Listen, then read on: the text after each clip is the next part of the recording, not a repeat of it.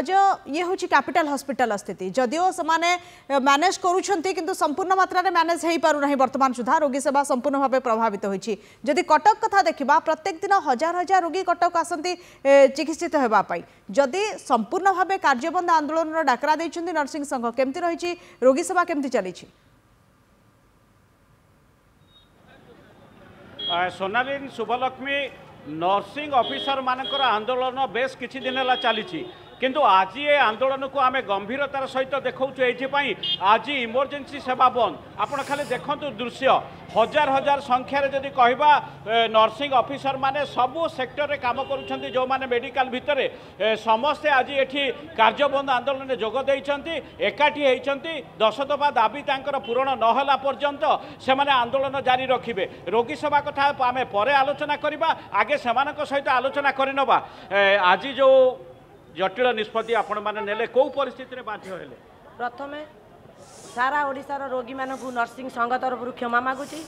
ସରକାର ଆମକୁ ବାଧ୍ୟ କରିଛନ୍ତି ଆଜି ଆମେ ଏପରି ପଦକ୍ଷେପ ନେବାକୁ ଆମର ଦଶ ଦଫା ଦାବି ନେଇ ଦୀର୍ଘ ଦିନରୁ ଆମେ ସରକାରଙ୍କୁ ଲେଖା ଦେଇ ଆସିଛୁ ସରକାର ଚେଞ୍ଜ ହେଲେ ଆମେ ବି ଜାଣିଛୁ ତାପରେ ବି ଆମକୁ ମାନ୍ୟବର ସ୍ୱାସ୍ଥ୍ୟମନ୍ତ୍ରୀ ଡାକିଥିଲେ ଆମକୁ କହିଥିଲେ ପନ୍ଦର ଦିନ ଭିତରେ ତୁମ ସହିତ ଗୋଟେ ଆଲୋଚନା କରିବୁ ଆମ ତରଫରୁ ଆମେ ବି ତାଙ୍କୁ ଏକ ମାସ ଦେଇଥିଲୁ ସାର୍ ପନ୍ଦର ଦିନ ନୁହଁ ଆମେ ଆପଣଙ୍କୁ ମାସେ ବି ଦେଉଛୁ ମାସେ ଭିତରେ ଗୋଟେ ଆଲୋଚନା ପାଇଁ ଡାକନ୍ତୁ କିନ୍ତୁ ଦୁଃଖର ବିଷୟ ସ୍ୱାସ୍ଥ୍ୟ ସେବା ଭଳି ମୁଖ୍ୟ ସେବାକୁ ସରକାର ଇଗ୍ନୋର କରୁଛନ୍ତି ଆମକୁ କୌଣସି ଆଲୋଚନା ପାଇଁ ଡାକିଲେନି ମାସେ ଭିତରେ ଆମେ ଦୁଇ ତିନି ଥର ଯାଇକି ଆମର ବିଭିନ୍ନ ଅଧିକାରୀମାନଙ୍କୁ ଦେଖା କରିଛୁ ଗତ ଅଠେଇଶ ଅଠର ତାରିଖରେ ମଧ୍ୟ ଆମେ ସ୍ୱାସ୍ଥ୍ୟମନ୍ତ୍ରୀଙ୍କୁ ଦେଖା କରିଥିଲୁ ତେଇଶ ତାରିଖରେ ସାର୍ ଗୋଟେ ମିଟିଂ ଡାକନ୍ତୁ ଆମେ ସ୍ଥଗିତ ରଖିବୁ ଆମେ ବି ଡାଇରେକ୍ଟ କହିଥିଲୁ ଦୁଃଖର ବିଷୟ ଆମକୁ ଟୋଟାଲି ଇଗ୍ନୋର କରାଯାଇଥିଲା ଚବିଶ ତାରିଖରେ ଆମର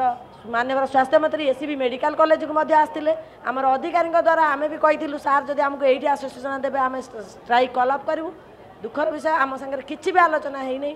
ବାର ଆମେ ଯେତେବେଳେ ପଚିଶ ତାରିଖରେ କାର୍ଯ୍ୟବନ୍ଦ ଆନ୍ଦୋଳନକୁ ଓହ୍ଲେଇଲୁ ଆମେ ବି କାର୍ଯ୍ୟବନ୍ଦ ସମ୍ପୂର୍ଣ୍ଣ କରିନଥିଲୁ ଆମର ଏମର୍ଜେନ୍ସି ସେବା ଯୋଗାଇ ଆସିଥିଲୁ କିନ୍ତୁ